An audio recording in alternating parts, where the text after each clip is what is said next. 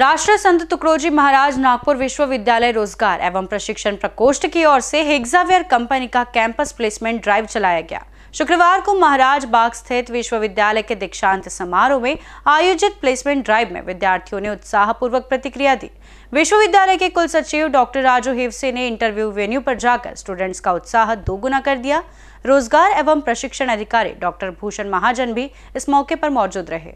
हेक्साफेयर company द्वारा आयोजित campus drive साक्षात्कार के लिए विभिन्न विषयों के कुल 122 स्नातक छात्रों ने नौकरी के लिए पंजीकरण कराया था। शुक्रवार 26 मई को पूर्वाहन 11 बजे साक्षात्कार की प्रक्रिया प्रारंभ की गई। हेक्सावेयर कंपनी के senior executive Suruchi Dambhere, executive Shraddha Yadav ने छात्राओं से बातचीत की। विश्वविद्यालय के माननीय कुलपति डॉक्टर सुभाष चौधरी व कुलपति डॉक्टर संजय दुधे ने रोज़गार एवं प्रशिक्षण प्रकोष्ठ शुरू किया है। इस विभाग के माध्यम ऐसी विश्वविद्यालय के साथ साथ साथ संबंध महाविद्यालयों के विद्यार्थियों के लिए रोज़गार मेले, कैंपस साक्षात्कार आयोजित किए जा रहे हैं। विश्वविद्यालय ने इन सभाओं के माध्यम से कई छात्रों को रोज़गार के अवसर प्रदान किए हैं। एग्जामेर कंपनी ने कस्टमर सर्विस एग्जीक्यूटिव के पद के लिए साक्षात्कार आयोजित किया है। किसी भी विषय में स्नातक इस पद के लिए पात्र था। कंपनी ने ये इंटरव्यू इंटरनेशनल वॉइस प्रोसेस के तहत कराए थे। इंटरव्यू के दौरान छात्रों की कम्युनिकेशन स्किल चेक की गई। चयनित छात्रों को चार लाख तक का वार्षिक पैकेज दिया जाएगा। साथ ही फ्रेशर छात्रों को तीन लाख का सालाना पैकेज भी मिलेगा।